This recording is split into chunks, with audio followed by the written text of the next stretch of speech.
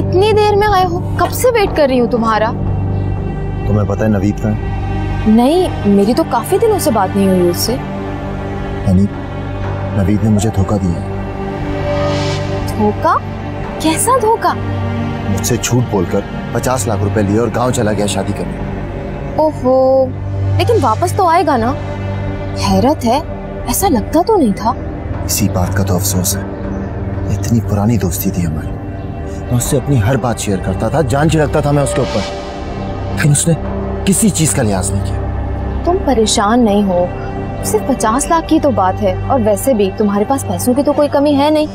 वो मेरे पैसे नहीं है। तुम्हारे पैसे नहीं है मतलब? आई मीन मेरे ही हैं लेकिन तुम्हारे ही थे ना तो जाने दो। और वैसे भी ये नवीद ही का एहसान है कि उसने तुम्हें और मुझे मिलाया। हाँ ना? अब तुम परेशान मत हो अपना मूड ठीक करो और मुझे शॉपिंग पर लेके चलो। शॉपिंग तुमने मुझसे वादा किया था। याद है? अकाउंट से पैसे इतनी बड़ी रकम गायब है ऊपर से शॉपिंग क्या बताऊँगा आफरीन को? चलना नहीं है क्या? उठो। हाँ चलो। चलो।